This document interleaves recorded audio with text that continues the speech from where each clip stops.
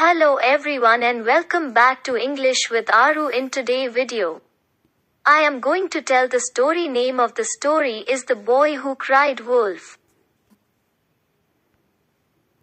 Once, there was a boy who became bored when he watched over the village sheep grazing on the hillside.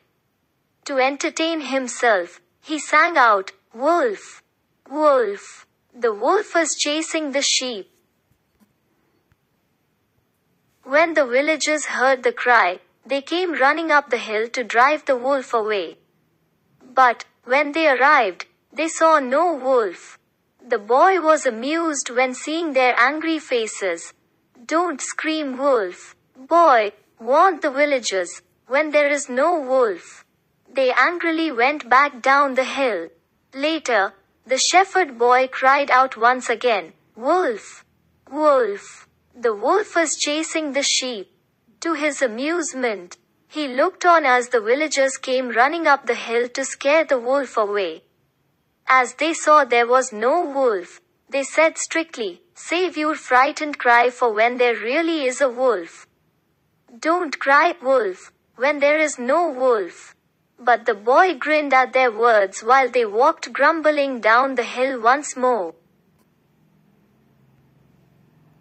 Later, the boy saw a real wolf sneaking around his flock. Alarmed, he jumped on his feet and cried out as loud as he could, Wolf! Wolf! But the villagers thought he was fooling them again. And so they didn't come to help. At sunset, the villagers went looking for the boy who hadn't returned with their sheep. When they went up the hill, they found him weeping. There really was a wolf here, the flock is gone. I cried out, Wolf, but you didn't come, he wailed. An old man went to comfort the boy. As he put his arm around him, he said, Nobody believes a liar, even when he is telling the truth. The moral, lying breaks trust even if you're telling the truth. No one believes a liar. So hey the story is over if you like the story keep it thumbs up and subscribe my channel. Thank you.